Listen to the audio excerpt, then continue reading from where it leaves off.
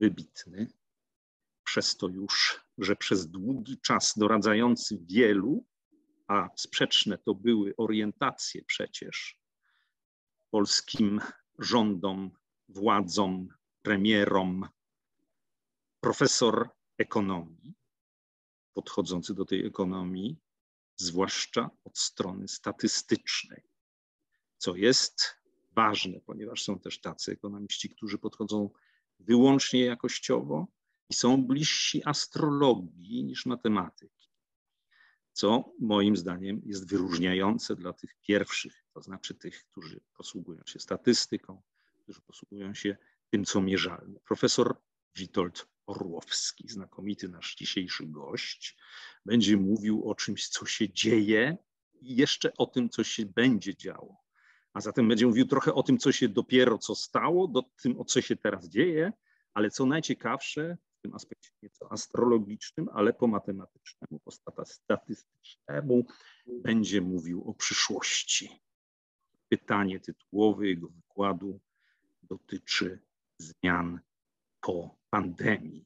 Co się stanie z gospodarką światową, europejską, polską, niemiecką też, po tym, cośmy wszyscy przeżyli i nadal przeżywamy. Ja więcej nie chcę gadać, mówiłem dlatego tak długo, to na moje usprawiedliwienie, że chciałem, żebyście się Państwo zebrali tu w tym wirtualnym pomieszczeniu i żebyśmy mogli z jakimś komfortem wymaganym dla tak ważnego spotkania rozpocząć rzeczy istotne. Jeszcze jedna rzecz techniczna. Nie ma możliwości wypowiadania się bezpośrednio, akustycznie, obrazem. E, niestety ta możliwość nie jest nam dana i nie będziemy z niej korzystali. Natomiast każdy z Państwa może napisać w formularzu FNA, Frage und Antwort, czy też Q&A, Question and Answer, pytanie i odpowiedź, może napisać do nas. Fizycznie to będzie znaczyło do mnie. Pytanie skierowane do pana profesora Orłowskiego, które ja jemu przekażę. I wówczas on na to, mam nadzieję, odpowie. Tyle mojego wprowadzenia. Panie profesorze, przepraszam, że tak zdawkowo, ale oddaję panu głos i przerwę w pewnym momencie, jak minie dużo czasu, mniej więcej godzina, chyba że pan wcześniej zdecyduje się zakończyć swój wykład. No, ja ostrzegam oczywiście, że jestem profesorem ekonomii, a profesorowie są znani z tego, że mogą bardzo, bardzo długo mówić. Więc raczej proponuję, żeby mi przerwać w pewnym momencie, jak, jak e, uzna Pan, że zaczyna to być trochę, trochę nużące dla wszystkich. To po pierwsze.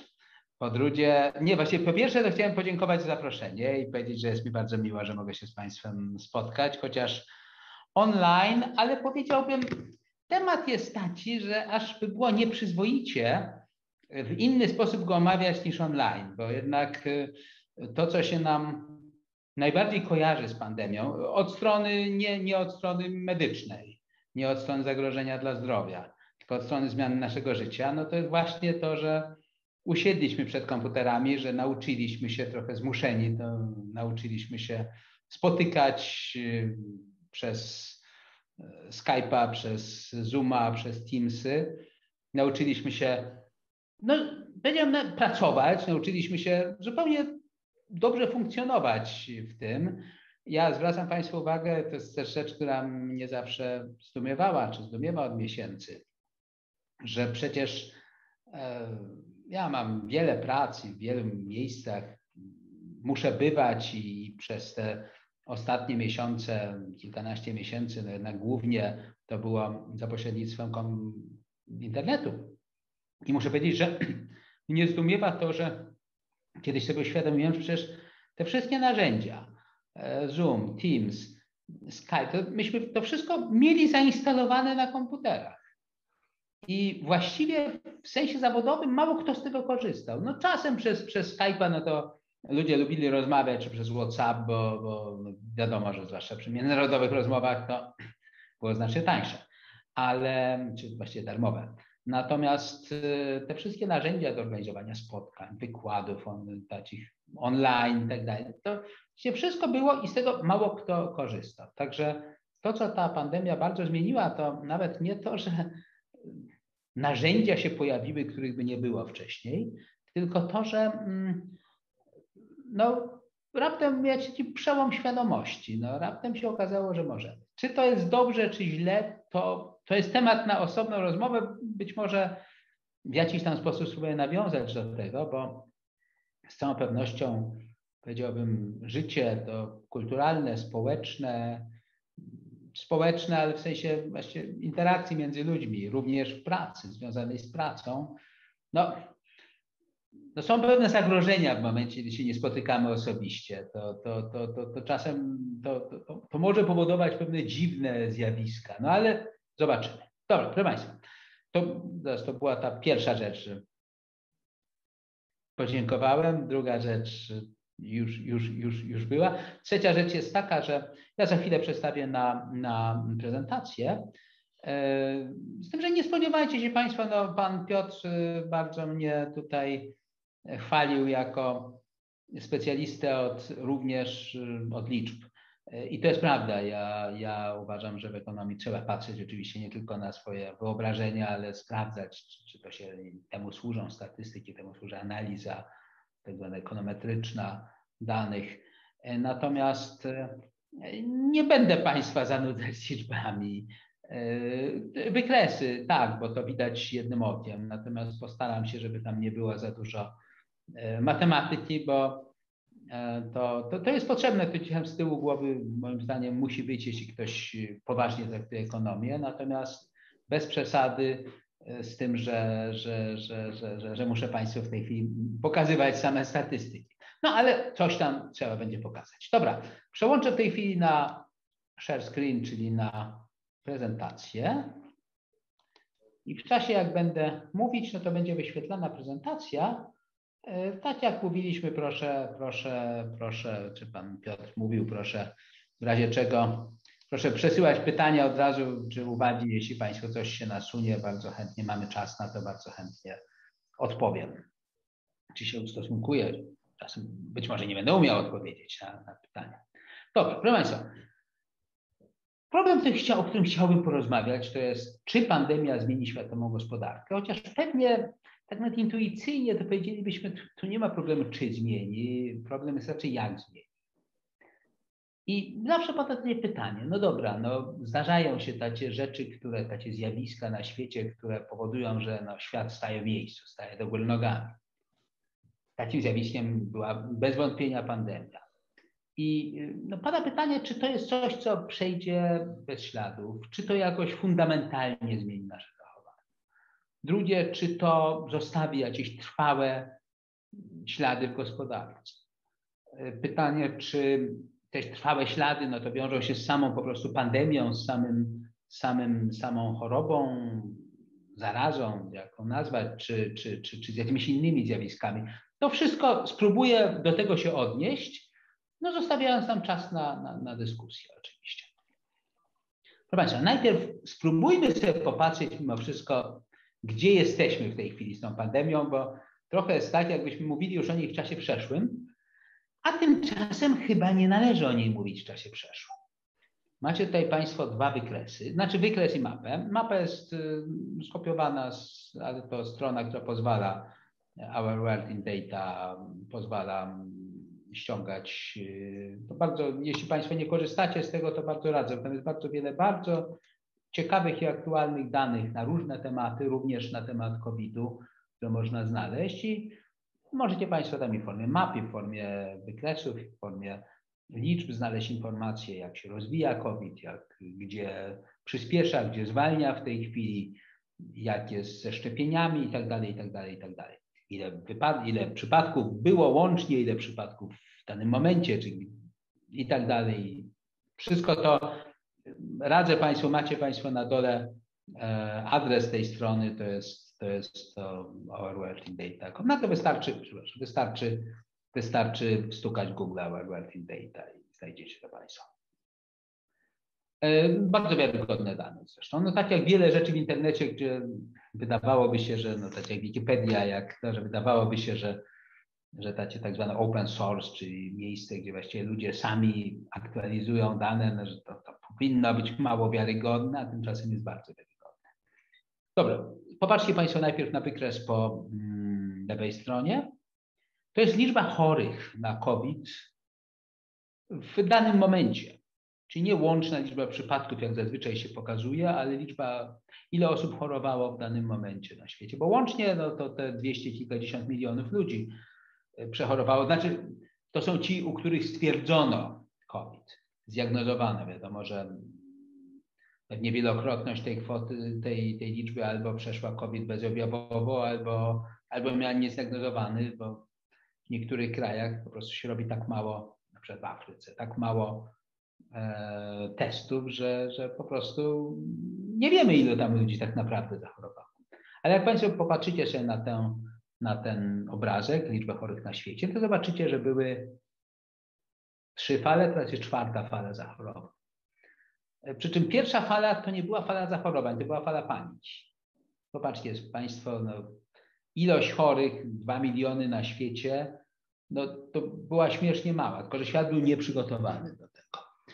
I pod żadnym względem. I dlatego akurat wtedy, w marcu, kwietniu zeszłego roku, były wprowadzone najostrzejsze zakazy, e, najostrzejsze restrykcje na działanie gospodarki itd., tak itd., tak no bo, bo było przerażenie. No, dlaczego? Bo myśmy nie wiedzieli tak naprawdę, co z tego wyniknie. No, Wiem, że Państwo się spotykają z epidemiologami, chyba następny wykład jest z epidemiologiem, więc nie będę się specjalnie na ten temat mączyć, natomiast chciałem zwrócić uwagę, że tylko przypomnieć, że wtedy właściwie nie wiadomo było. COVID się okazał chorobą, no mówię tak, przepraszam, że to powiem, no może zwłaszcza jeśli ktoś z Państwa się zetknął bezpośrednio, czy w rodzinie, czy, czy, czy, czy sam z tym, no to, to, to, to, to, to może być oburzony, ale generalnie COVID się okazał chorobą, która nie jest jakaś śmiertelnie groźna. Znaczy ilość y, osób wymagających intensywnej opieki jest, to jest jakiś drobny ułamek tych, którzy zachorują. E, ilość zgonów jest, y, no to jest też jakiś drobny, no 1-2%. E, ja mówię, zgony są zgonami, ale, ale wiecie Państwo, na początku nie wiadomo było, czy nie mówimy o zarazie takiej naprawdę, która będzie śmiertelna. No w końcu były, były w historii zarazy grypa hiszpanka, która zabiła 40 milionów ludzi na świecie. Przynajmniej, być może więcej nawet. Więcej niż pierwsza wojna światowa. Ona wybuchła po pierwszej wojnie światowej, a zabiła więcej ludzi niż, przepraszam, chyba więcej, nie, tam od 40 do 60 chyba są rozszacowania ilości, więc, więc oczywiście można się było obawiać, że tym razem też to może być tak straszliwie śmiertelna COVID się okazał chorobą płci co odpukać, nie, nie specjalnie śmiertelną, nie specjalnie groźną, w sensie no, tylko u nielicznej grupy, stosunkowo nielicznej następują powikłania i, i może wręcz śmierć. E, natomiast, czy właśnie porównywalne z grypą, tylko że znacznie bardziej zakaźną. No bo jednak grypa, no z reguły ta sezonowa grypa dotyka kilkunastu, kilkudziesięciu milionów ludzi na świecie i wygasa, jak tylko przechodzi sezon grypowy i mamy na kolejne pół roku czy, czy 9 miesięcy spokój. No COVID cały czas się, właściwie on nie zniknął w żadnym momencie, on przychodził falami. Oczywiście w zależności, on też wrażliwy na sezon. No, na północnej półkuli, w Europie, w Stanach był zwłaszcza e, wiosną, jesienią, z kolei w Ameryce Łacińskiej, bardzo mocno dotkniętej, to było zwłaszcza, zwłaszcza naszym latem, czyli ich zimą, e, czy naszą wiosną, ich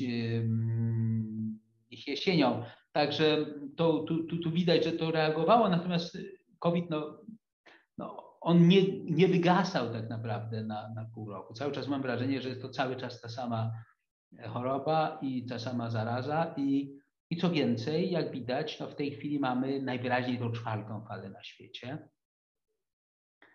E, najwięcej chorych w tej chwili jest, bo w tej chwili jest około 18 milionów chorych, ale najwięcej w Stanach, około 10 milionów. Zaczęło na szczęście spadać, natomiast przyspiesza w Europie Wschodniej, również w Polsce. Cały czas nie mamy dużego wskaźnika zachorowań, ale, ale bardzo przyspiesza przykład w Rosji, przyspiesza w krajach byłego ZSRR i tak dalej, i tak dalej. To są wszystko informacje, które możecie Państwo zresztą znaleźć na właśnie tej stronie Working Data w graficznej formie. W każdym razie ewidentnie cały czas żyjemy z tą, z tą, z tą chorobą.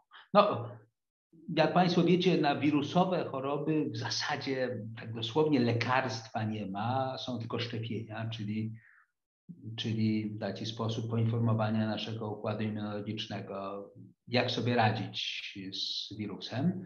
I potem w większości przypadków nasz układ immunologiczny sobie radzi po prostu. Zaszczepienia się zaczęły, no, szczepionka była opracowana błyskawicznie. Oczywiście jak na warunki światowe, obecne zasady testowania i tak dalej, to szczepionkę opracowano błyskawicznie. Była dostępna w ciągu niecałego roku. No na początku sektor farmaceutyczny specjaliści twierdzili, że ten przynajmniej półtora, dwa lata będzie. Udało się bardzo szybko. E, kilka nawet szczepionek e, alternatywnych do wyboru mamy. E, oczywiście, że pojawiły się też pytania, ruchy antyszczepionkowe i tak dalej, które w jednych krajach mocniej, w innych słabiej. W Polsce niestety stosunkowo mocno i w Polsce spowodowały, że na przykład y, za mało ludzi się zaszczepiło. Bo w Polsce, tutaj macie Państwo mapę zaszczepień w procentach PKB. No ten ciemnozielony kolor to jest, to, to, to jest wysoki stopień zaszczepienia. Z tym, że Polska jest akurat pośrednio, Niemcy trochę lepiej, też nie idealnie. Najwięcej macie Państwo w takich krajach jak Kanada, Chile. No nie mówię o Zjednoczonych Emiratach Arabskich, bo to, to, to jest osobna historia. Portugalia też ma bardzo wysoko. No dobra, mówi się, że po to, żeby uniknąć, żeby wygasić COVID, to musiałoby się zaszczepić 70-80% populacji. No i jak widzicie Państwo, w większości krajów tak nie jest. W Europie właściwie nigdzie tak nie jest. E, no może w Portugalii tylko, tylko, tylko jest. E, co po drugie, nie wiadomo wcale, czy to prawda, bo jednak wirusy mutują. I na przykład w Izraelu mieliśmy wyszczepione już chyba 80% populacji, a na nowo zaczęło rosnąć ilość zachorowań. W Wielkiej Brytanii podobnie na szczęście mniej, bardziej łagodnej formie, ale nigdy nie wiemy, czy, czy śmierci nieśmiertelnych nie jest powikłań, ale nigdy nie wiemy, czy, czy, czy wirus nie zezłośliwieje. Także generalnie, żeby podsumować, jak to wyglądało, jak to wygląda. Pierwsza fala to była fala paniki. Druga, trzecia fala, no to były te, te, te, rzeczywiście, kiedy zmagaliśmy się z dużą liczbą chorych. Czwarta fala obecnie. Być może będziemy żyli z COVID-em po prostu przez najbliższe 20 lat, a może i 50 lat. Być może trzeba będzie co pół roku albo co rok się doszczepiać. No w końcu na grypę część z nas, nie wszyscy, ale się szczepi co roku. I, i, i problem polega na tym, że z powodu grypy sezonowej no, nikt nie zamyka gospodarki. Wszyscy wiemy, że grypa przychodzi. Co więcej, wiemy, że grypa jest chorobą również mm, śmiertelną, znaczy tak jak COVID. To znaczy zwykła grypa sezonowa powoduje kilkaset tysięcy, 200, 300, 400 tysięcy zgonów na całym świecie. Oczywiście to z reguły dotyka tych, tych mm, starsze osoby, najsłabsze, osłabione chorobami i tak dalej. Tylko, że przyzwyczailiśmy, no nikt z powodu, jeszcze raz powtórzę, nikt z powodu grypy nie zamyka gospodarki, a nie każe, nie uziemia ludzi w domach dlatego że oswoiliśmy się, grypa nas nie przeraża. Wiemy, że oczywiście bardzo dużo ludzi przechoruje, jak jest, jak jest y, epidemia. Wiemy, że bardzo dużo ludzi będzie, będzie e, miało, no, że umrze również, no ale nie zamykamy gospodarki. Tak samo będzie prawdopodobnie z COVID-em. No mówię, chyba, że zezłośliwieje albo złagodnieje gwałtownie, co też nie jest wykluczone. Od razu to jest dobre miejsce, żeby powiedzieć, dlaczego doszło do takich lockdownów. Dlaczego doszło do tak, no w sumie nieporównywalnej z niczym, co pamiętamy skali interwencji państwa, zamykania gospodarki, zamykania całych sektorów gospodarki, wprowadzania obostrzeń. To, to, to, też możecie Państwo znaleźć na stronie Uniwersytetu Oksfordzkiego. Taką, jest taka strona, gdzie śledzone są obostrzenia. Jeśli ktoś jest zainteresowany tym, to, to proszę w Google to znaleźć jak to się zmieniało. A w każdym razie niewątpliwie, no powiedziałbym tak, od czasu wojny, no w Polsce może od czasu stanu wojennego, kiedy komunizm y, zaczynał powolną śmierć swoją, no to nie widzieliśmy takich obostrzeń w życiu, jak, jak y, a zachodnia Europa, mówię, od czasu wojny nie widziała takich obostrzeń, jak, jak były wprowadzone. Dlaczego były wprowadzone? Odpowiedź jest dość ciekawa i to nie jest odpowiedź ekonomiczna właściwie. Wiadomo było, że koszt wprowadzenia tak zwanego lockdownu, zamknięcia gospodarki będzie gigantyczny. Właściwie nawet na początku nikt nie wiedział, jak duży. Potem się okazało w sumie, że jest troszeczkę mniejszy niż można się było obawiać, ale wszyscy wiedzieli, że od początku będzie gigantyczny. No i problem polega na tym, że to dlaczego to zrobiono? Nie wiedząc, czy choroba jest śmiertelna. Czy dlatego, że się obawiano, że to będzie nowa hiszpanka? Niespecjalnie. Znaczy to od początku aż tak mocno nie było mówione. Już na pewno ta druga fala, czyli jesienią zeszłego roku nie było takiej, już wiadomo było, że to nie jest coś tak groźnego jak hiszpanka. Otóż y, powiem Państwu coś, co ja uważam za odpowiedź na pytanie. Mianowicie żyjemy w czasach, kiedy dla polityków najważniejsze jest utrzymanie tak długookresowo, utrzymanie ich wizerunku, to co ludzie o nich myślą. I główna rzecz, która sparaliżowała polityków na całym świecie, to było coś, co się stało w północnych Włoszech i w Hiszpanii, w niektórych regionach Hiszpanii, gdzie właściwie najpierw się tak szybko roz, roz, rozplenił wirus. Co się tam stało? Zabrakło łóżek na oddziałach zakalnych, zakaźnych szpitali i za, zabrakło łóżek intensywnej terapii.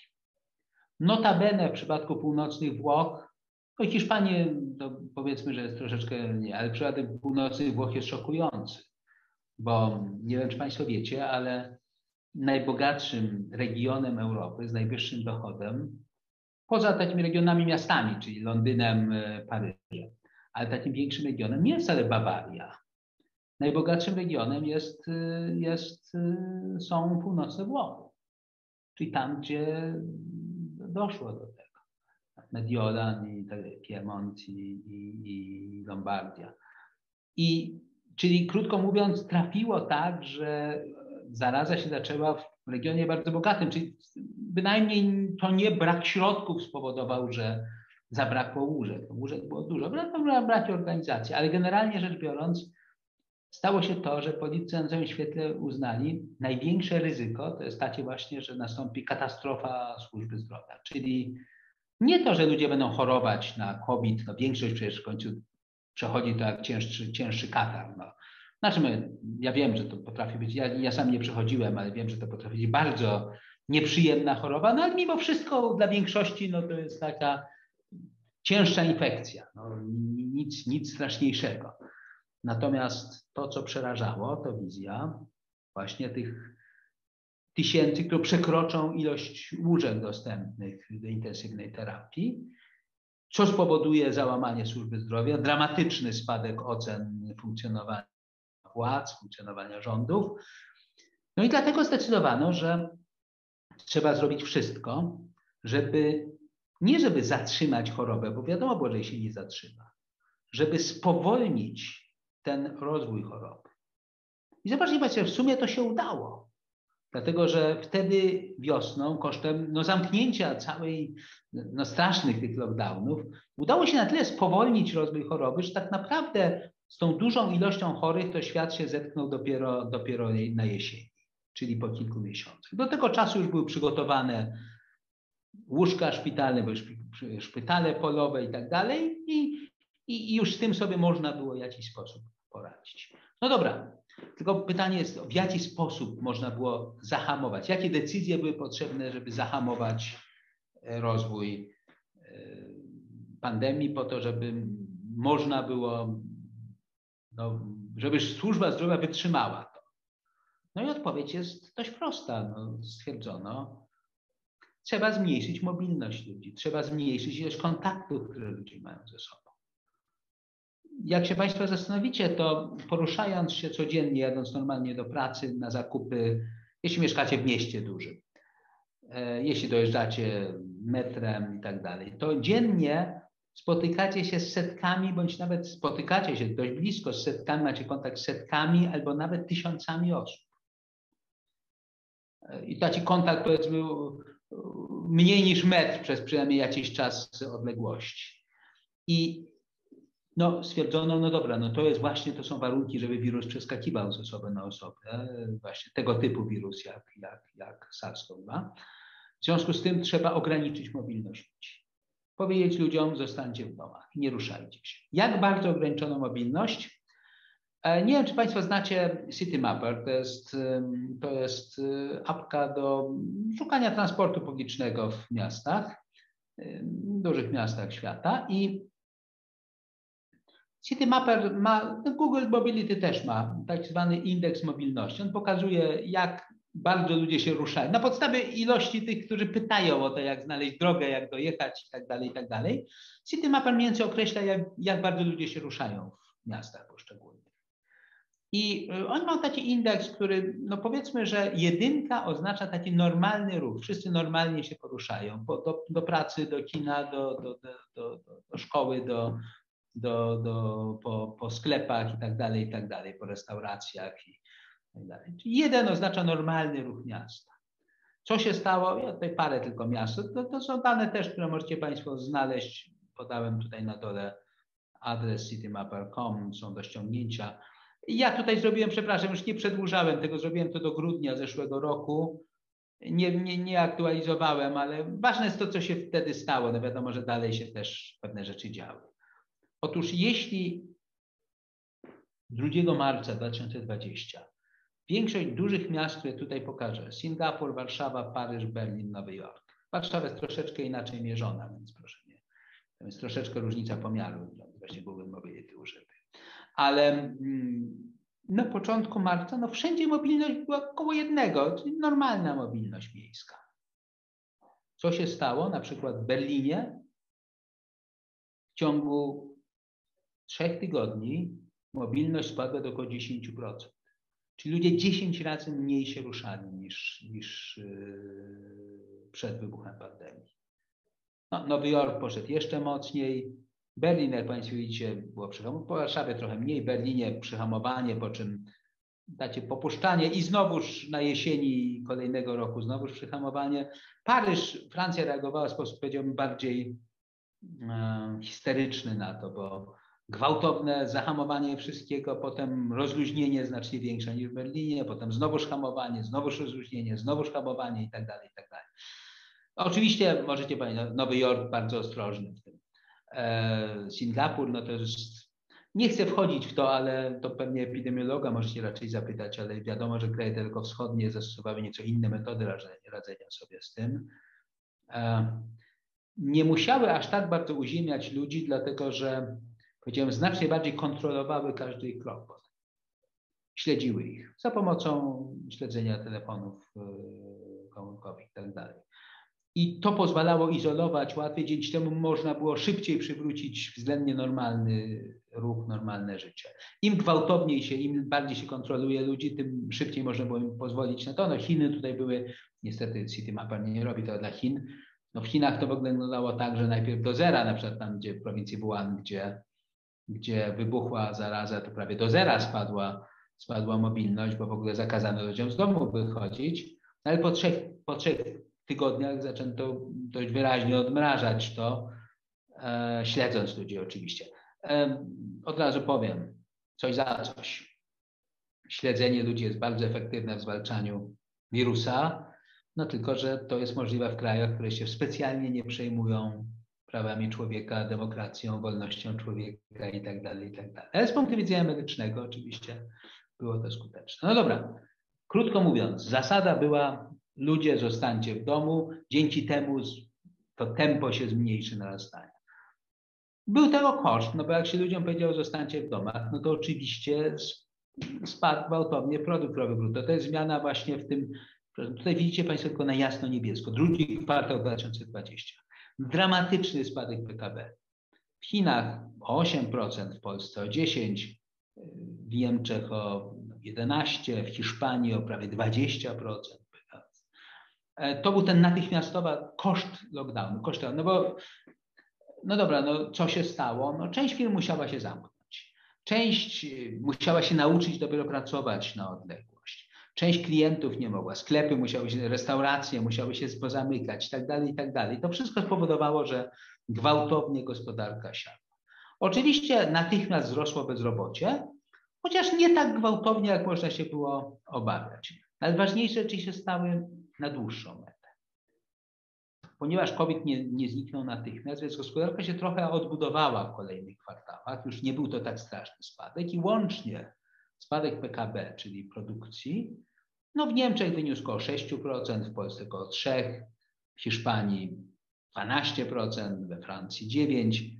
Chiny z tych krajów, które znamy, obserwujemy, były właściwie jedynym, które, które, gdzie, gdzie w ogóle w skali całego roku nastąpił wzrost produkcji, a nie, a nie spadek. E, to jest koszt lockdownu, lockdownów kolejnych. E, no, tylko teraz pokażę drugą rzecz, która jest jednak jeszcze ciekawsza od tego. Otóż, proszę Państwa, jeśli PKB spada o na przykład w Niemczech o 6% w skali roku, no to czego byśmy się spodziewali po bezrobociu? Oczywiście nie natychmiast, bo bezrobocie czasem, to czasem trwa, aż bezrobocie wzrośnie, ale spodziewalibyśmy się analogicznego jakiegoś wzrostu stopy bezrobocia. Może o 4 punkty procentowe, może o 5. Jak w Hiszpanii spadło 12% produkcja, no to bezrobocie powinno wzrosnąć o te ładnych parę punktów procentowych, a może i 10. A co się tymczasem stało? A stało się tak, że poza Stanami Zjednoczonymi, wszędzie w Europie, znaczy właśnie poza Stanami, wszędzie w krajach zachodnich, a w Europie w szczególności, bezrobocie albo prawie w ogóle nie wzrosło, albo wzrosło minimalnie w stosunku do spadku PKB. A niektóre są przypadki wręcz szokujące. Włochy spadek PKB o 9% i spadek stopy bezrobocia, a nie wzrost. We Francji podobnie. W Polsce mieliśmy wzrost bezrobocia minimalny zupełnie. W Niemczech no, wyraźny, dwa punkty procentowe czy półtora punkta, no ale to też w porównaniu ze spadkiem PKB o 6% to, to, to, to w sumie niewiele. No, jak taki cud wyjaśnić? I tu ekonomiści mają dość jasną odpowiedź. No, to jest tak z bezrobociem. Jak firmy ograniczają produkcję, nie mają z czego płacić ludziom. W związku z tym muszą zmniejszyć zatrudnienie. No chyba, że ktoś za firmy zapłaci ludziom albo całość, albo część ich płac. I w związku z tym firmy nie muszą zwalniać ich, mogą czekać, aż sytuacja na rynku się poprawi.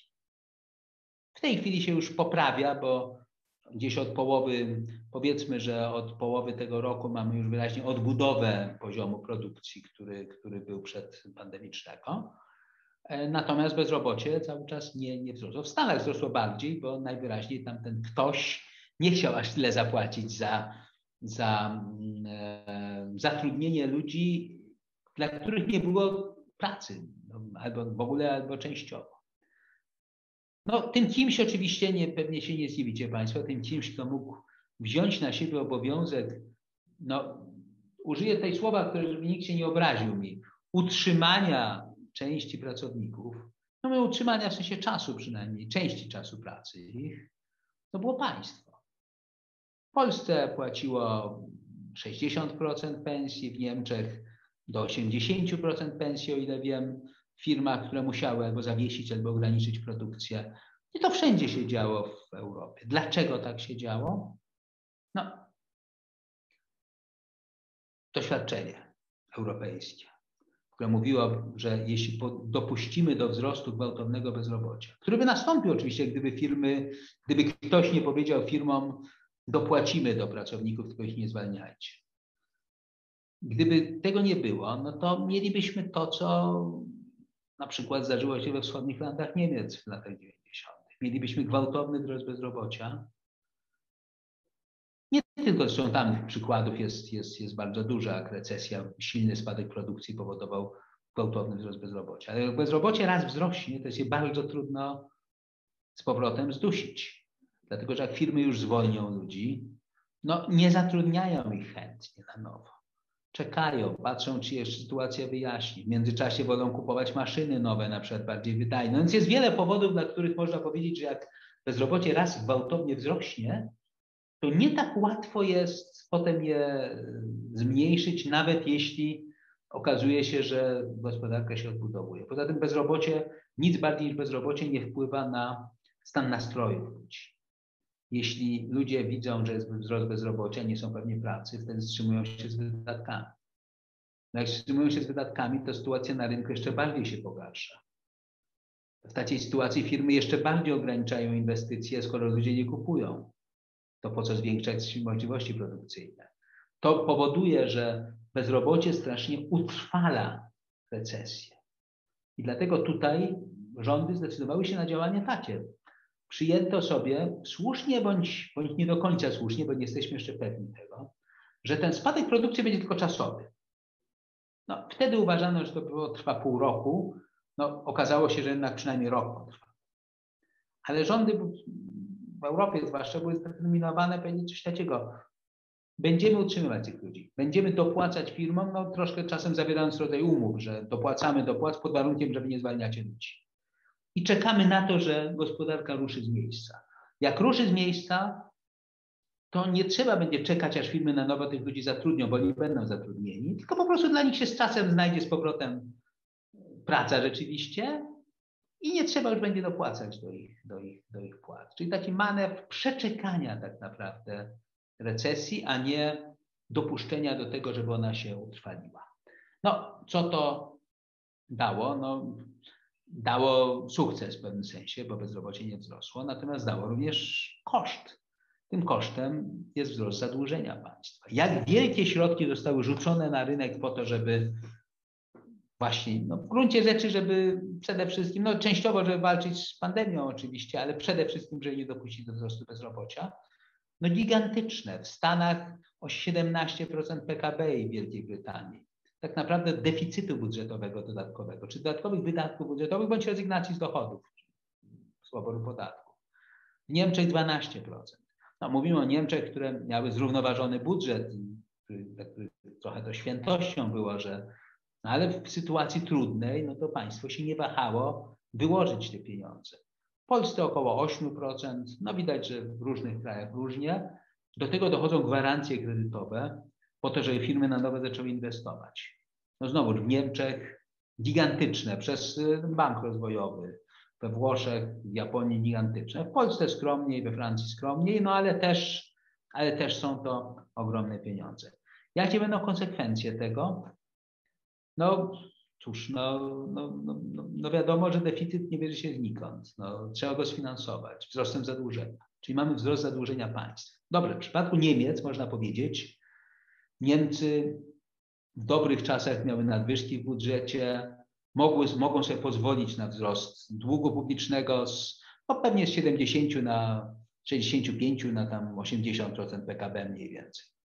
Bardzo dużo, no ale dobra, to niczym nie grozi. Polska, no też jest krajem, który zaczynał z niskiego poziomu. Mieliśmy 45% długu publicznego relacji do PKB, teraz mamy pod 60. No dobra, potężny wzrost, ale to nie grozi niczym. Natomiast już niestety są kraje, które są w znacznie gorszej sytuacji. Włochy miały dług publiczny w momencie wybuchu pandemii w wysokości 130, ponad 130% PKB. No i teraz dodanie do tego, jak szacuje Międzynarodowy Fundusz Walutowy, przynajmniej 20 punktów wzrostu długu w ciągu tych dwóch lat pandemii, no to powoduje, że Włochy mają już 150. No przypomnę, że Grecja zbankrutowała, jak miała 180% długu do PKB. Nie chcę powiedzieć, że to jest bezpośrednio, Włochom to zagraża bezpośrednio, bo, bo hmm, jednak po pierwsze grecka, no, no, z, całym, z całą sympatią dla Greków, ale no Włochy mają znacznie silniejszą gospodarkę niż Grecja. Mogą sobie na więcej pozwolić, są bogatszym krajem. No ale generalnie rzecz biorąc, wiadomo, że w wielu krajach mogą się pojawić problemy związane z wzrostem zadłużenia państw. Czy aż takie jak w latach 2011, 12, 13, kiedy właśnie Grecja zbankrutowała, Włochy, Hiszpania znalazły się na skraju prawie w pewnym momencie ryzyka bankructwa, E, no, mam nadzieję, że nie, ale to nie jest wykluczone. Do tego mogą dochodzić bankructwa przedsiębiorstw, zwłaszcza wtedy, kiedy państwo wycofa już swoją pomoc. Problemy banków. No przecież banki mają parę problemów. Po pierwsze, spadła jakość kredytów ludzie. Części kredytów nie będą w stanie odzyskać. Po drugie, po to, żeby państwa mogły tanio pożyczać pieniądze, banki centralne na świecie obniżyły do zera stopy procentowe. No ale jak są zerowe stopy procentowe, to zyski banków komercyjnych gwałtownie spadają. I to powoduje również, że jest ryzyko bankrut, problemów banków. Pamiętacie Państwo, do czego doprowadziło bankructwo jednego banku w roku 2008 jesienią, czyli Lehman Brothers. Jednocześnie, żeby pomóc rządom, banki centralne zwiększyły gwałtownie podaż pieniądza, czyli skupiły obligacje rządowe po to, żeby rządowi łatwiej było sfinansować te, te długi. I to, no, to zrobił Bank Amerykański w stosunku do rządu amerykańskiego, to zrobił Narodowy Bank Polski, ale to zrobił również Europejski Bank Centralny, skupując obligacje właśnie Hiszpanii, Włoch, Niemiec rzecz jasna też, no ale akurat tego nikt się nie boi, natomiast e, o jakość obligacji włoskich obawy są znacznie większe. Także zerowe stopy procentowe no, też dodają do problemu. Zobaczymy, jakie będą konsekwencje tego, czy no, to dopiero jest troszkę przed nami, czy kryzysy finansowe, czy, czy, czy, czy yy, większa inflacja. No, jak się mówi, jak są zerowe stopy procentowe, to ludzie uciekają z pieniędzmi z tych bezpiecznych sposobów oszczędzania w stronę mniej bezpiecznych, czyli gonią na giełdę, kupują nieruchomości, no bo tam mi się wydaje, że obronią się przed tym spadkiem wartości oszczędności wynikającym z inflacji. Natomiast to może prowadzić do, do, do tak zwanych baniek spekulacyjnych.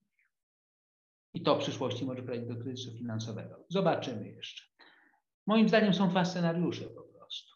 Jest scenariusz optymistyczny, taki, że mieliśmy pandemię, lockdown. Teraz mam taką typową, mieliśmy taką typową recesję w ślad za tym, niskie inwestycje i tak dalej. Jak się ta recesja skończy, to, no to skończą się też problemy, no to wrócimy do normalności. No to razem to będzie trwało półtora, dwa lata od wybuchu.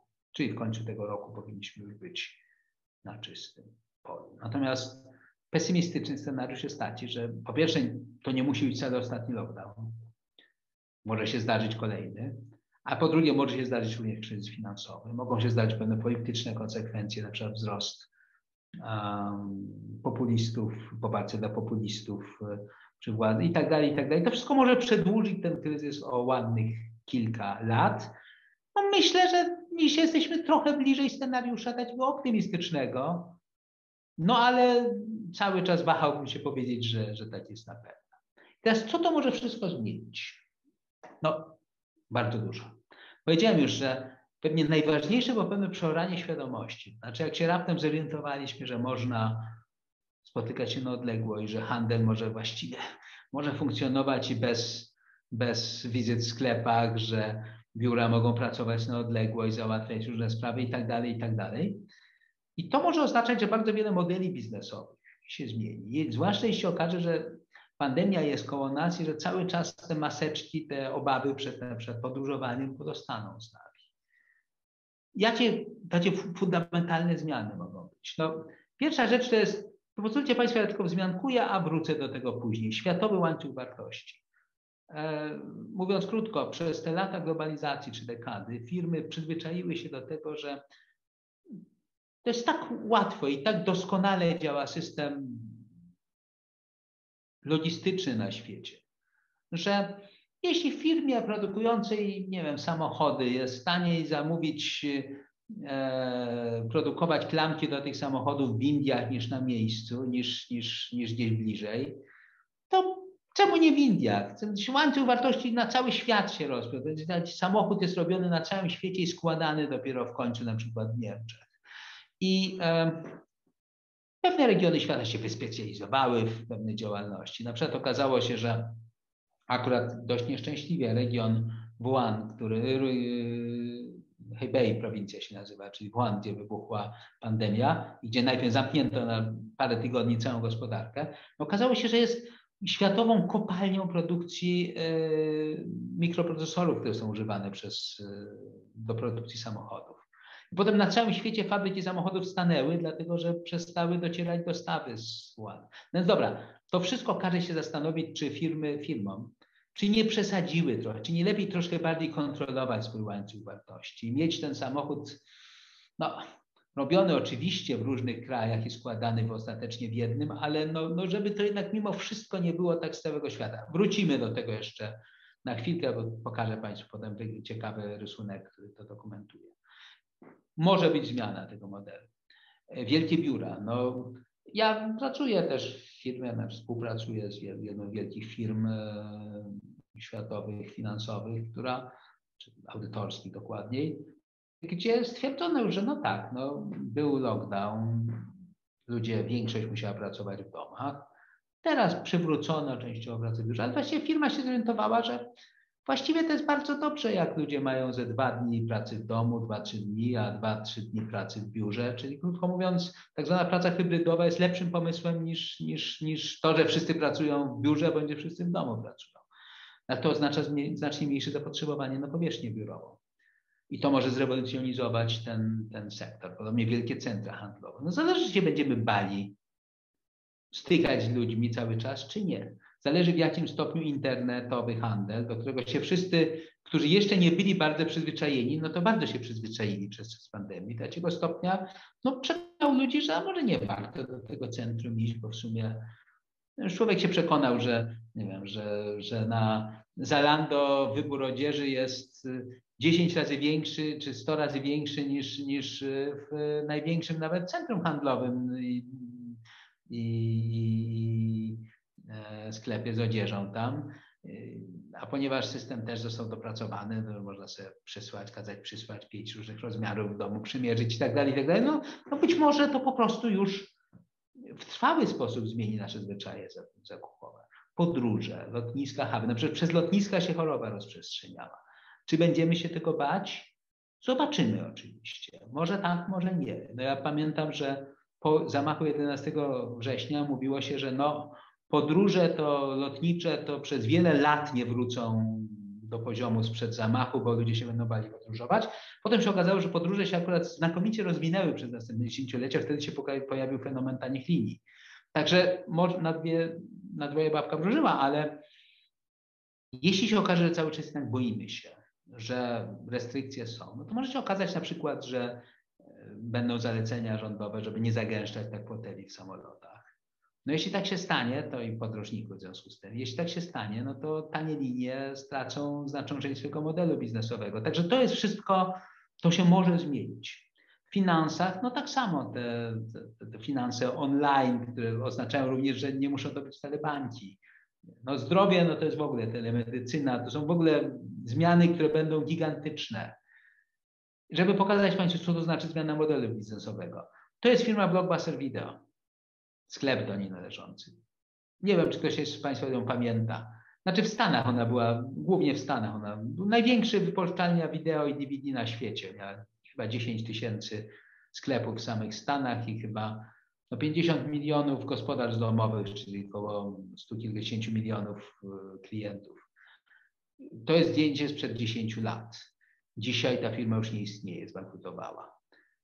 Zastanawiała się nad wejściem w internet. W pewnym momencie chciała kupić nawet taką małą firmkę internetową, która zatrudniała wtedy 30 osób i która przynosiła straty, bo jeszcze nie dawało się dobrze przez internet filmów przesyłać. Blockbuster nawet się przymierzał do tego, ale w końcu tamta firma nie chciała, oni też zrezygnowali z tego. Dzisiaj zbankrutowała. Ta mała firmka, której wtedy Blockbusters nie kupił, to jest Netflix. E, także widzicie Państwo, co to znaczy zmiana modelu. Ta sama potrzeba, ta sama potrzeba konsumenta, tylko zaspokajana za pomocą nowych technologii. Bo najważniejsza rzecz, jeśli chodzi o pandemię, jest taka. Zmiany technologiczne, to co się nazywa czwartą rewolucją przemysłową, to wszystko nie spowolni. To wszystko przyspieszy skutkiem pandemii. Ten świat, wiecie Państwo, połączonych urządzeń przez internet, myślących urządzeń, automatyzacji, robotyzacji, sztucznej inteligencji, samochodów autonomicznych, myślących domów, medycyny na odległość. Że nie, nie mowa o teleporadach, tylko o komputerze, który będzie na podstawie czujników badać, stale pilnować naszego stanu zdrowia i będzie alarmować, jeśli cokolwiek się będzie działo, zanim my jeszcze nie poczujemy się chorzy. Oczywiście zielona gospodarka. To wszystko jest czwarta rewolucja przemysłowa i to wszystko ulegnie przyspieszeniu moim zdaniem, bo właśnie dlatego, że czasem potrzebny był ten przełom psychiczny, żeby zaakceptować pewne rzeczy. E, w takim badaniu firmy Dell, to jest komputerowa firma, e, w zeszłym roku przeprowadzonym 80% prezesów firm mówiło, że w ciągu pięciu lat ludzie i maszyny będą pracować u nich w ich firmach w ramach zintegrowanych zespołów.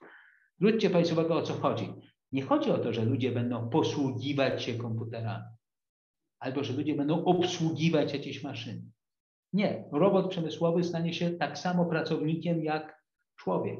Komputer wyposażony w sztuczną inteligencję nie będzie obsługiwany. On, on sam będzie sobie pracę swoją robić i, i, i, i No i to jest taka wizja z Matrixa, tak? Co to oznacza w gospodarce? No, konsumenta zupełnie zmienionego, którego będzie się analizowało przez big data, ale on będzie miał też oczekiwania zupełnie inne, korzystając z tego internetowego świata. Produkt, znaczy myśląc, tak zwany internet rzeczy, internet usług, e, indywidualizowane rzeczy, oczywiście digitalizacja wszystkiego. E, w sensie wytwarzania, no to są właśnie to jest automatyzacja, robotyzacja, zmiana modeli biznesowych tak dalej. No i państwo, które może być troszkę bezradne wobec tego. Będzie miało ograniczone możliwości, padające gwarancje. No tam Państwu tylko jeden przykład, który warto, o tym warto się zastanowić. Jeśli się okaże, że ludzie, że roboty dobrze zastępują ludzi w pracy, no to może paść pytanie, no to może w takim razie oczywiście zmniejszyć zatrudnienie ludzi, a niech roboty pracują w fabryce. No dobra, tylko z czego mają żyć ci ludzie, którzy się zwolnią? No odpowiedź jest, no to trzeba pewnie opodatkować pracę, pracę robotów. No i to jest ta poszukanie możliwości, ale też zwróćcie Państwo uwagę na inną rzecz. Mówi się, że dzisiaj właściwie e, specjaliści od medycyny mówią, absolutnie wyobrażalne jest, że w ciągu następnych 30-40 lat długość życia człowieka się wydłuży do 120 lat przeciętna. No, dzisiaj to dziwnie brzmi, bo akurat mamy lekko skróconą przez pandemię długość życia, ale no, mówią na podstawie tego, co, co jest możliwe w medycynie i właśnie telemedycyna w tym i tak dalej, i tak dalej. No tylko, że to oznacza, że znowuż ilość emerytów gwałtownie wzrośnie, bo najsłabiej z mózgami. Akurat na, na starzenie się mózgu nie ma pomysłu, nie ma lekarstwa. I coraz więcej ludzi będzie emerytami do pracujących. No i znowu pytanie, jak to sfinansować. To wszystko są ogromne zmiany, które zmiany na mapie świata. Jak wyglądały PKB? No to jest ta stara Unia, czyli zachodnia Europa, Stany, Japonia, Chiny, Indie lat temu 30. Tak to wyglądało w momencie wybuchu pandemii. Mówi się, że tak będzie wyglądało za lat 30, chociaż oczywiście to jest tylko projekcja, nie jesteśmy tego pewni centrum produkcyjne świata no, wyraźnie się przesuwa na, na, na, na wschód i to, że na pandem pandemia wybuchła w Chinach, ale potem Chiny no, bardzo szybko opanowały, brutalnie oczywiście. I co się potem okazało? No, że cały świat potrzebuje od maseczek po, po respiratory wszystkiego i bardziej skomplikowane urządzenia. No i gdzie się to zamawia? No okazało się w Chinach oczywiście. Oczywiście to spowodowało też zablokowanie się kanału dystrybucji. Jeszcze w dodatku, już mówiłem o tym Wuhanie i, i, i samochodach stojących również w Niemczech na parkingach, gdzie nie można było ich wysłać do klientów, bo brakowało podzespołów. Teraz na nowo to się notabene stało. I zdaje się, że znowu będą wstrzymane produkcja w wielu samochodach. Tym razem już nie z powodu, powodu popytu, którego nie są w stanie zaspokoić nawet Chiny, a nie z powodu zamknięcia gospodarki. E, ale generalnie rzecz biorąc, e, no, Chiny zyskały póki co na tym kryzysie w sensie gospodarczym i to pewnie zmiany na rynku pracy, no to są wszystko konsekwencje tego. Będzie coraz większa walka o talenty, natomiast być może ludzie nisko wykwalifikowani mają powody do obaw, no bo roboty, komputery ich będą bardzo dobrze zastępować. Mówi się, że dwie trzecie dzieci, które dziś zaczynają naukę w szkołach, będzie pracować w zawodach, które jeszcze nie istnieją. Mówi się też, że edukacja będzie musiała dostarczać umiejętności tego, jak się uczyć, czyli nie dostarczać pewnej wiedzy i umiejętności, tylko umiejętności uczenia się. W angielsku się mówi how to learn, a nie what to learn. I e, no, to są oczywiście ogromne wyzwania, które przed nami stoją. Podobnie jak powiedziałem, że ten kryzys prawdopodobnie spowoduje wzrost pewnego zrozumienia dla wyzwań globalnych. No, troszkę ten kryzys pokazał nam wszystkim, że jesteśmy na jednej łódce, tym, którzy tego nie wiedzieli do tej pory. I to może oznaczać zarówno znaczne radykalizację polityki walki z, z klimatu, czyli z efektem klimatycznym, jak e, z efektem cieplarnianym, jak no, walkę z tymi zagrożeniami medycznymi, wszechświatowymi, powiedziałbym, znaczy światowymi. Mówi się, że na walkę z klimatem trzeba wydawać 2% światowego PKB. No to jest tyle, ile się na zbrojenia wydaje. Wydawało w latach wysokich zbrojeń. No więc to, to są gigantyczne pieniądze. To zmieni światową gospodarkę zupełnie. A inwestycje w służbę zdrowia, no cóż, Stany Zjednoczone wydają już 18% PKB na ochronę zdrowia. No to będą źle wydają, znaczy to za drogo. Znaczy efekty mają niewspółmiernie małe w stosunku do nakładów.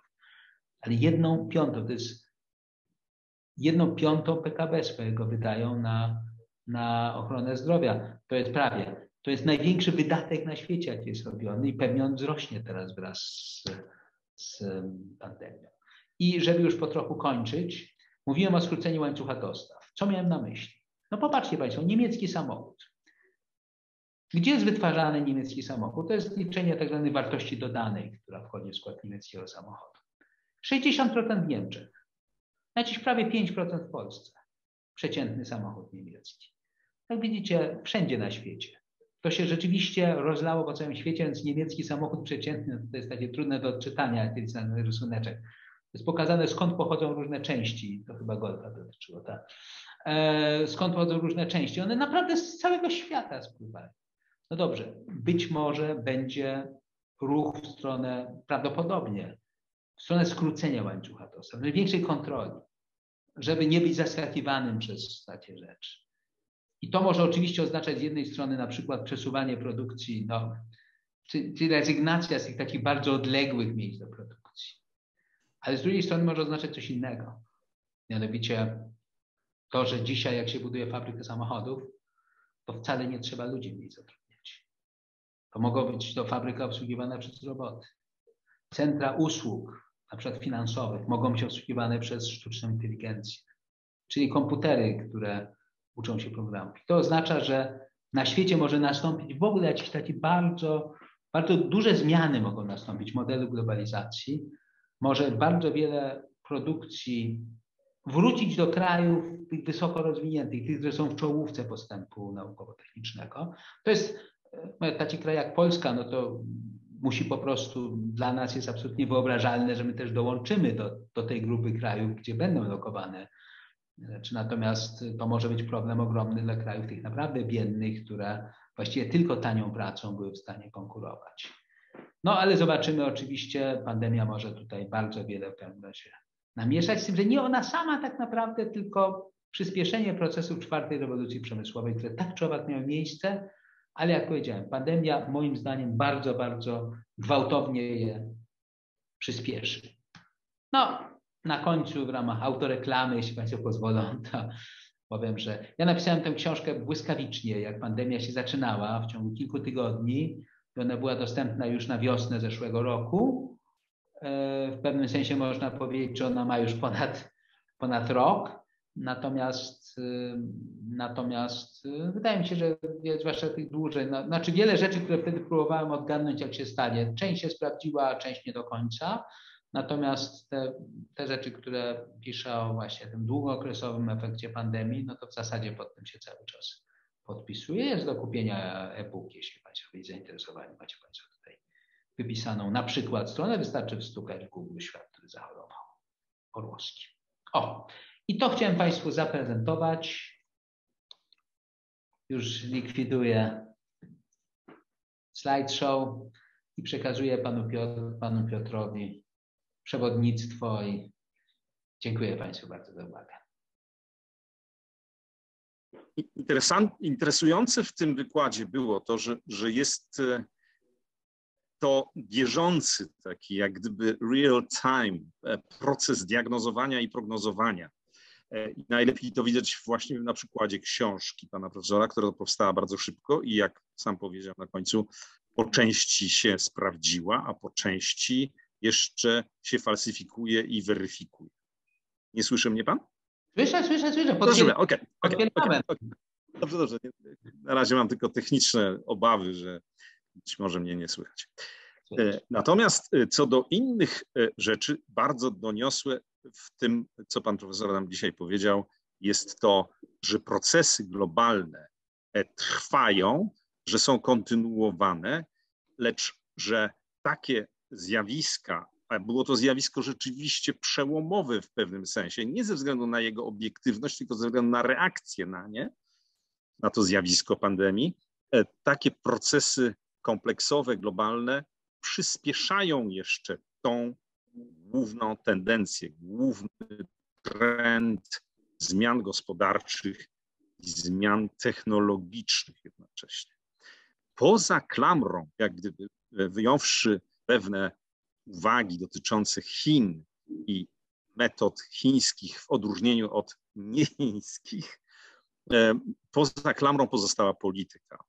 E, a ta polityka, jak się e, wydaje, odgrywa wciąż istotną rolę w procesach gospodarczych, dlatego że izolacjonizm amerykański na przykład, który pokazał pewnego rodzaju oblicze za kadencji Trumpa, może jeszcze doprowadzić do istotnych przesunięć, takich tektonicznych przesunięć w gospodarce światowej.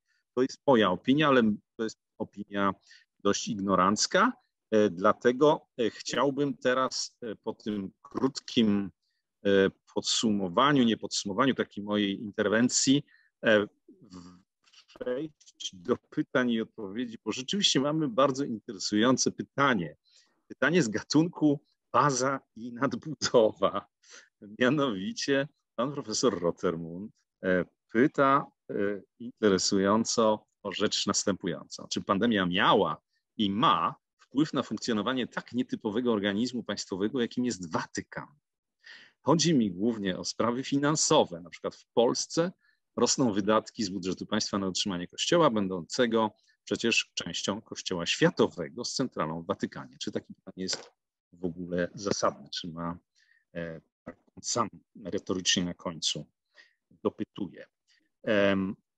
Ja tutaj y, robię pomost do owego politycznego aspektu. To jest nieco ideologiczno-polityczny e, aspekt, ale może zamierza Pan coś na ten temat odpowiedzieć? No może krótko, no może krótko powiem. Znaczy nie znam, znaczy nikt na świecie, znaczy nikt na świecie, nikt z zewnętrznych nie zna finansów Watykanu, one są, one są tajne.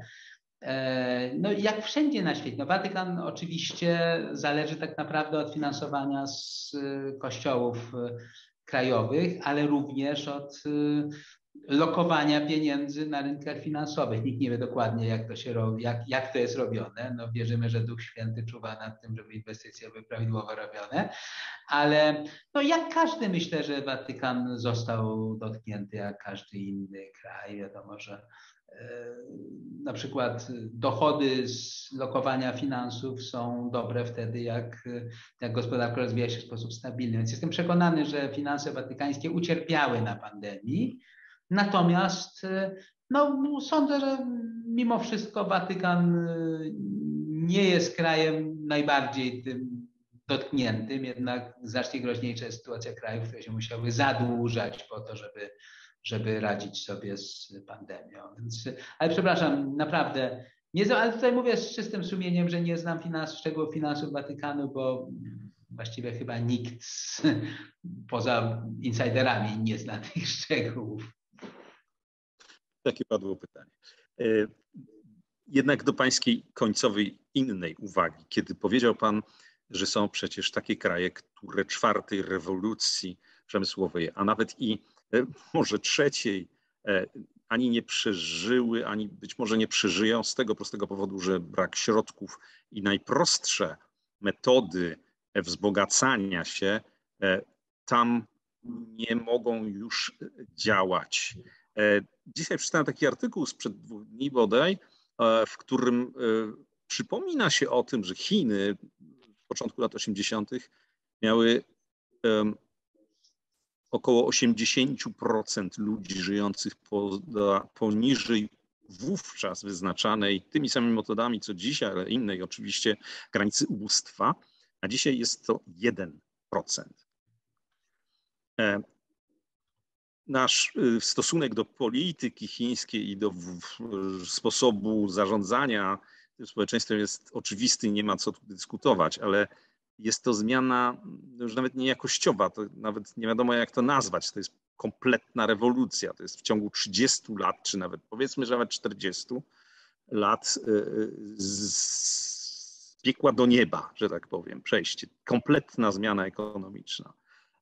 Takie zjawiska w innych krajach ubogich e, nie będą wkrótce już, nie, nie będą już wkrótce możliwe. One się po części w mniejszej znacznie, w takiej no, cywilnej, wyobrażalnej skali działy w wielu innych miejscach na świecie, tak zwanych azjatyckich tygrysach, czy nawet w niektórych krajach afrykańskich.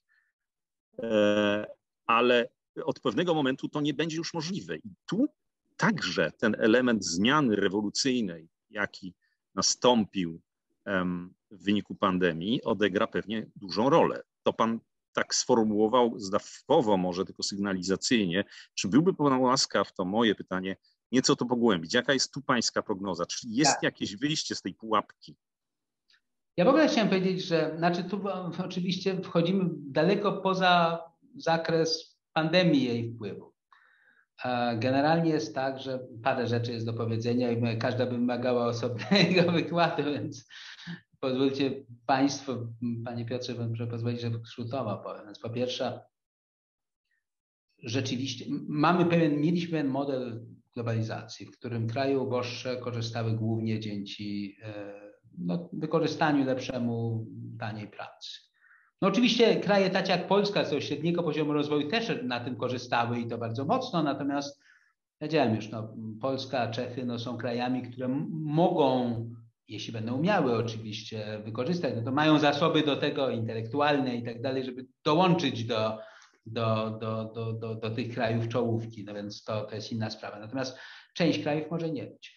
E, to jest punkt pierwszy kraje biedne, te naprawdę biedne mogą, mogą nie mieć. To jest punkt pierwszy. Punkt drugi jest taki, że Chiny no, najbardziej spektakularne odniosły tutaj sukces, ale pamiętajmy o tym, że Chiny e, właściwie odbudowywały swoją pozycję w gospodarce, którą miały 200 lat temu. To nie jest kraj, który był e, biedą piszczącą 200 lat temu i teraz raptem został bogaty. To jest kraj, który 200 lat temu był praktycznie prawie tak samo rozwinięty, jak, czy równie bogaty jak Europa. Potem nastąpiło to sto kilkadziesiąt lat upadku Chin, rzeczywiście, i Chiny odbudowywały z całą taką, powiedziałbym, tam ta świadomość państwowa, świadomość konieczności polityki, odbudowy tego i tak dalej, no jest nieporównywalna, jeśli na przykład to przymierzymy do, nie wiem, krajów afrykańskich, które nigdy nie miały tak naprawdę nigdy nie były rozwiniętymi gospodarczo krajami, no w tej chwili sobie z trudem, z trudem radzą. Czyli to jest drugi punkt. Trzeci punkt, chińska świadomość, że mm, muszą nie tylko konkurować pracą jest ogromna. Nie wiem, czy Państwo wiecie, ale według szacunków około 40% wszystkich robotów przemysłowych, które są instalowane na świecie, są instalowane w Chinach. Co to znaczy? Chiny mają koszt pracy cały czas niższy niż Polska. Co oznacza, nawet w tych rejonach miejskich, czyli tam, gdzie. No, no, co oznacza, że właściwie no w Polsce my cały czas mamy ten problem, czyli mówię, że u nas problemem jest to, że cały czas firmy nie czują przymusu takiego automatyzacji, bo cały czas ta praca jest jeszcze za tania i się zbyt opłaca. Mimo wszystko lepiej ją oczywiście uzbroić, ale nie opłaca się jej zastępować robotami yy, i tak dalej, co może oczywiście zmieniać konkurencyjność na przyszłość. Natomiast Chiny mają, są zdeterminowane, żeby prowadzić strategię wykorzystywania roboty, czy wchodzenia w czwartą rewolucję przemysłową, mimo że teoretycznie jeszcze ten rachunek krótkookresowy kosztów wcale ich do tego nie, nie zmuszał. Chiny, według moich ocen, wydają dzisiaj globalnie na badania naukowe więcej niż Stany Zjednoczone, czyli najwięcej na świecie. Przeskoczyły już prawdopodobnie Stany Zjednoczone. Natomiast, i to jest trzeci punkt, natomiast czwarty punkt jest taki, że Zobaczymy, jak to będzie. No, jeśli to uprościć, już nie Zachód, Wschód i tak dalej, tylko powiedzmy Chiny, Stany Zjednoczone. No, wiadomo, że są dwa kraje, które tak naprawdę, dwa mocarstwa, które będą, które w tej chwili walczą o, o, o miejsce pierwszego gospodarki, pierwszej gospodarki świata. Chiny poza tym PKB, wielkości produkcji już wyprzedziły Stany, ale to nie jest najważniejsze. Bo ja jestem absolutnie zdania, że o potędze gospodarczej w ciągu za powiedzmy 10-20 lat nie będzie decydować to, ile jest PKB wytwarzane, czy ile produkcji fizycznie jest wytwarzane, tylko będzie dysponowanie technologiami najnowocześniejszymi będzie o tym decydować. Chiny, mimo że wydają tyle samo co Stany, cały czas nie produkują tych technologii. One cały czas muszą no, kopiować i podkradać głównie technologie. Dlaczego? No, to jest już moja hipoteza, która zresztą potraktujcie ją Państwo jako optymizm liberalnego ekonomisty, który uważa, że no nie da się tak naprawdę stworzyć systemu pełnej wolności gospodarczej, pełnej wolności intelektualnej, wolności przedsiębiorczości, innowacyjności bez wolności politycznej.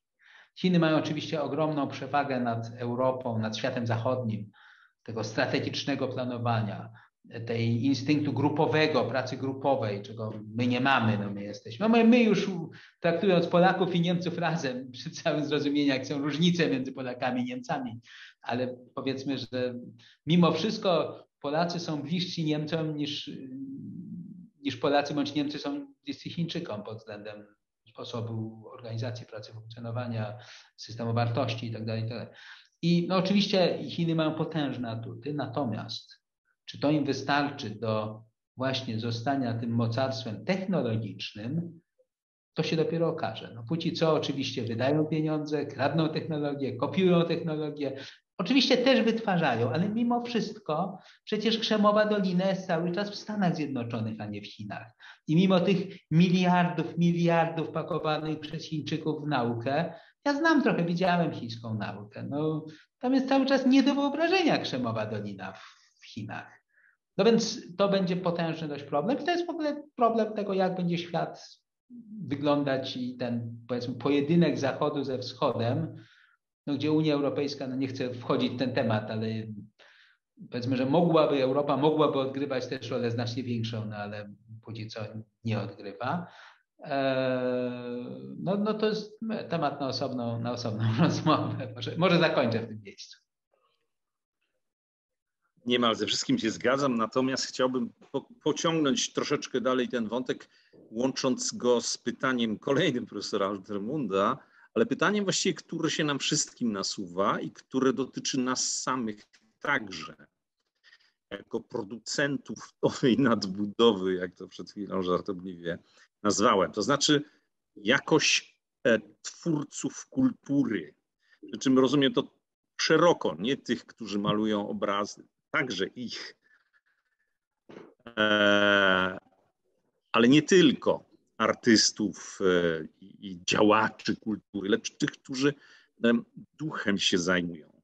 O to pyta Krzysztof Rottermund. E, czy jest pańskim przekonaniu jakieś miejsce na to? Pan właściwie nie wprost odpowiedział już, ponieważ wolność polityczna i wolność ducha warunkuje przewagę, zwłaszcza amerykańską, przewagę technologiczną w wtórnym sensie.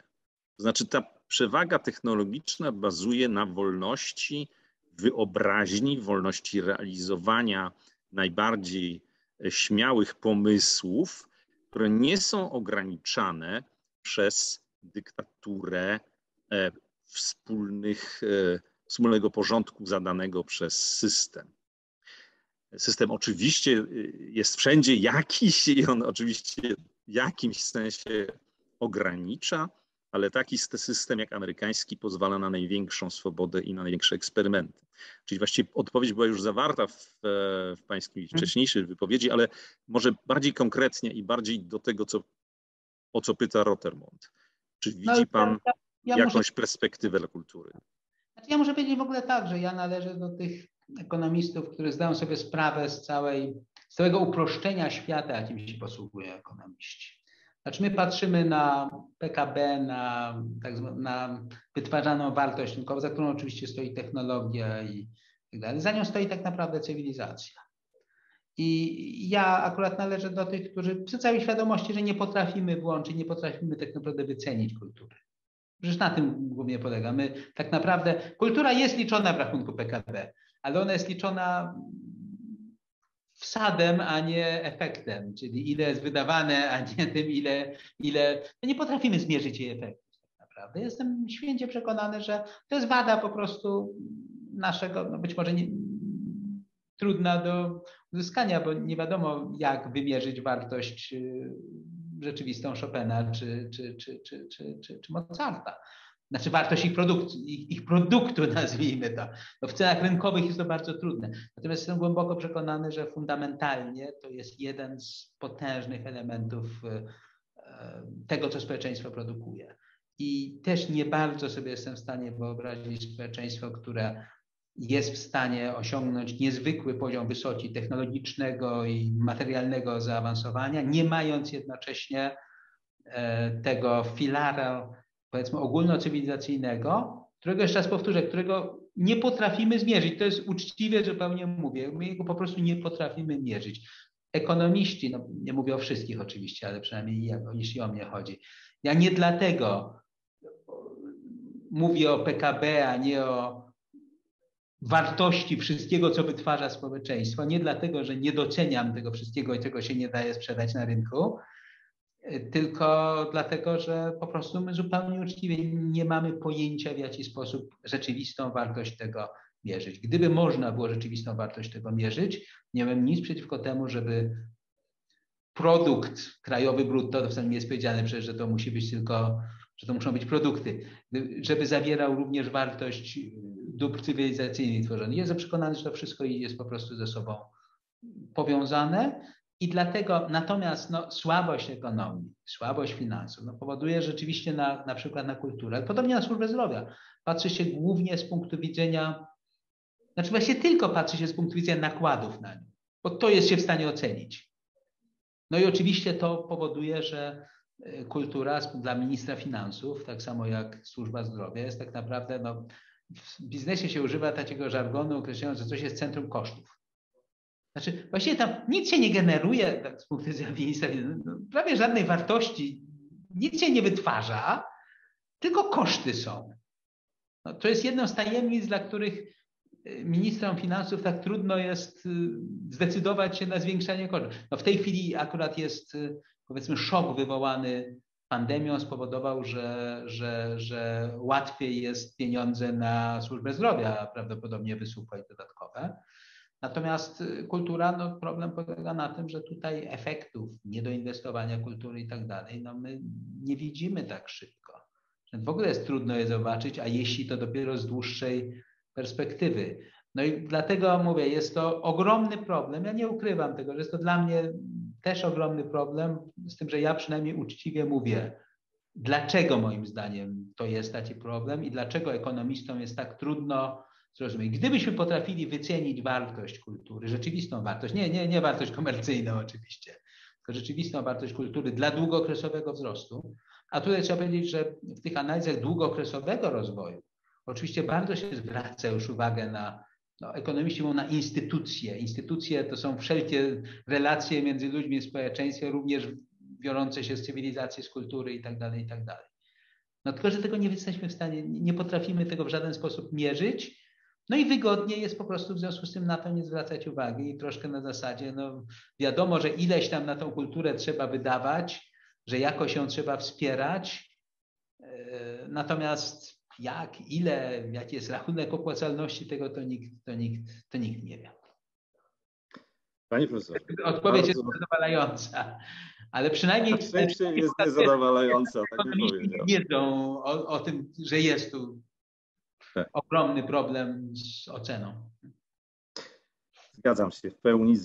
Bardzo serdecznie dziękuję panie profesorze za ten wykład, a wszystkim e, tym, którzy się przyczynili do tego, że się odbył a mianowicie prowadzącej e, Radę Programową Hannie Jakob, twórcy tego Uniwersytetu Bogusławowi Fleckowi. E, wszyscy, którzy są w tle, to są nasze tłumaczki wspaniałe Dorota Cygan i Agnieszka Grzbakowska. Dziękuję serdecznie. Mam nadzieję, że za miesiąc wykład się odbędzie albo online, albo offline, e, na żywo i że będzie co najmniej tak samo, albo prawie tak samo interesujący. Albo bardziej. Albo bardziej Może bardziej. Może być jeszcze bardziej interesujące to, co się z nami dzieje wszystkimi. Chyba nie. Jeszcze raz dziękuję. Dziękuję Dobranoc bardzo. Państwu. Dobranoc. Do usłyszenia.